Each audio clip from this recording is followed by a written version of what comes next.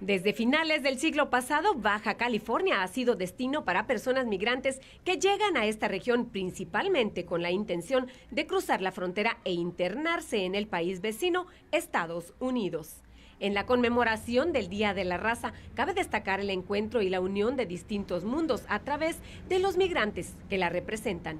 Este día es denominado como Día de la Raza, derivado de un fenómeno conocido como mestizaje, que significa la unión de la raza blanca española con la indígena, un evento que sucediera un 12 de octubre. Fue en el año 1492 cuando por primera vez Cristóbal Colón junto con su tripulación tocaron tierra en América. De ahí que se estableció esta fecha para conmemorar esta mezcla de culturas, una migración que se mantiene como sucede en nuestra región. Pues años anteriores, a los 2000, arribaron a Baja California migrantes de origen chino buscando un mejor futuro en la Unión Americana.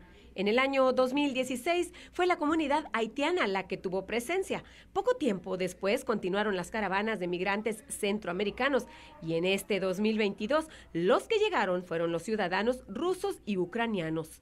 Cada una de estas razas con sus motivos muy particulares, pero todos aportando a la diversidad cultural de la región. La llegada de todos esos grupos hacen que esta ciudad se convierta en, una ciudad con mucha riqueza cultural.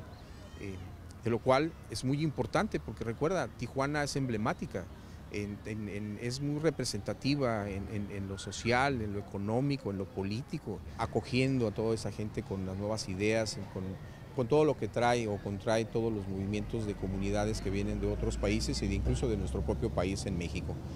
La migración sucede por diversos motivos, entre ellos la búsqueda de un mejor estilo de vida, indicaron expertos en el tema migratorio. Y decide migrar o buscar mejores oportunidades. Así es que esto no se va a detener, va a seguir fluyendo, van a seguir llegando.